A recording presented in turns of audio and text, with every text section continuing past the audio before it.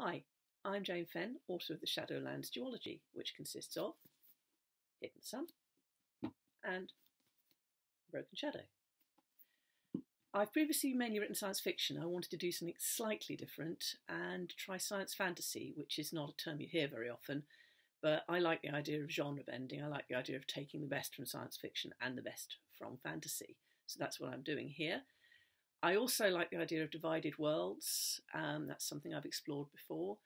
And when I was coming up with the ideas that went into these books, it was the time at which we were thinking about objective truth, fake news, etc. So some of that's gone in there too. The Shadowlands world is actually mainly the Skylands. The Skylands are very hot, very um, UV intensive. It's not somewhere that a normal human could survive for very long. The ecosystem there is very weird. Um, the wildlife is um, often composite beings. There are chimeras. There are all sorts of things that don't fit in with the normal idea of um, wildlife for us here. But there are humans. There are skykin. These are humans who have entered into a symbiotic relationship with the fauna of the Skylands, and they can therefore live out there.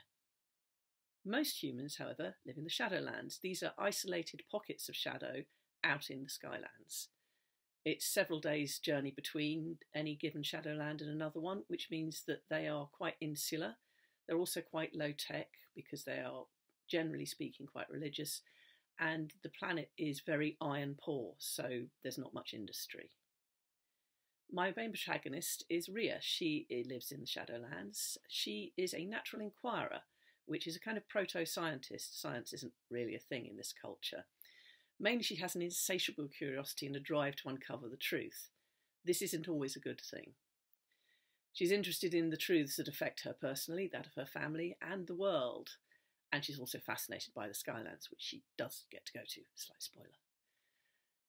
The things that Rhia uncovers don't necessarily make her life better, but they certainly make the world more interesting if you'd be interested in joining her on her voyage of discovery and having a look around my very strange and kooky world, then why not give the Shadowlands novels a go? Thank you.